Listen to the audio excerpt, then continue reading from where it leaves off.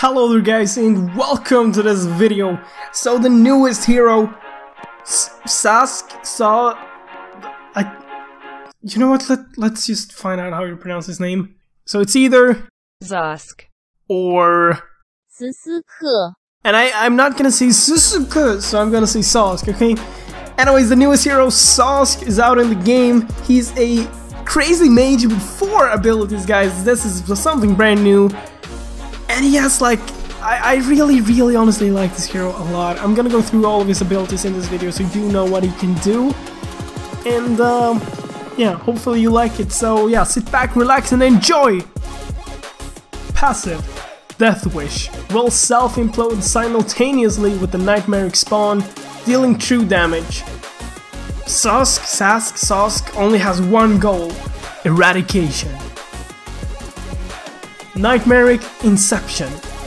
In the set location, summon the physical form of the Nightmaric Spawn.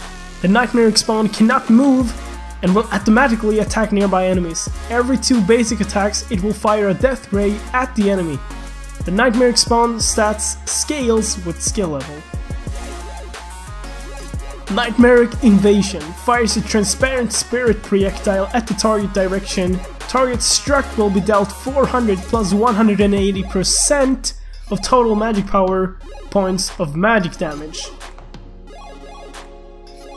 Doppelganger of Insect fires in the targeted direction a series of nightmaric spawns. After a few hops and skips, they will burrow under the ground and become mines.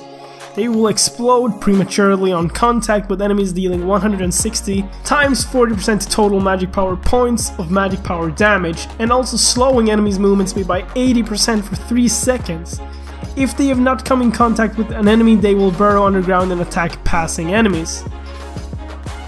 Dominator Befall substantially increased the power of the Nightmare Spawn, increasing its attack rate, damage and offensive capabilities.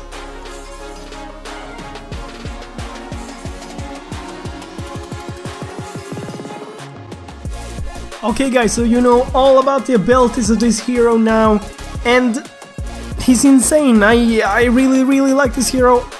So yeah guys, make sure to um, subscribe and hit the notification bell if you want to see more of this hero because I'm gonna upload quite a lot of stuff regarding this hero now. So uh, yeah, really really hope you guys enjoy and uh, remember to hit the like button if you like this. I don't know, it's it's pretty short video. Short? It's a pretty short video, but I mean it's it's good to know this kind of stuff. So yeah, thank you so much for watching, and as always, I'll catch you in the next one. Bye.